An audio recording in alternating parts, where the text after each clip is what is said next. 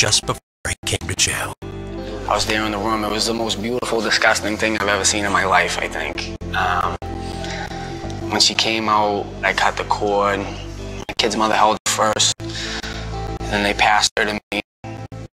And uh, it's weird how something you how, how you can just meet somebody and already instantly have love for them. You know what I mean? Like a, a love that you can't describe. You know, you do anything motivation right now to get out and try and do the right thing for her. Hopefully it works this time. Hopefully I do something different. She, she deserves it. She needs she needs her parents in her life, you know?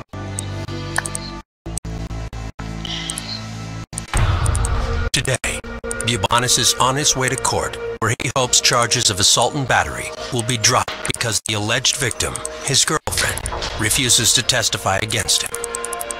Bubanis' older brother, Ryan McNee, has mixed feelings about the day. But when he gets out, Nick gets out today, I'm a little sad to see him go, but I want to see him on the street then, yeah. I like to see the kid in jail. Try and call you tonight, alright?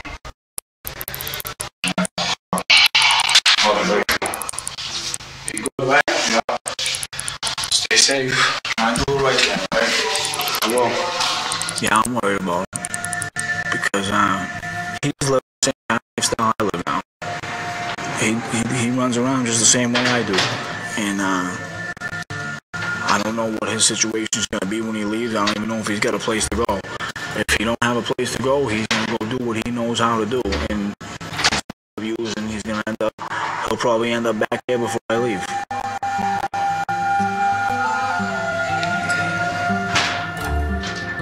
You never know what you're going to out there. I could be going out there just to relapse in a few days and be back here within a few months. It's the unknown, you know what I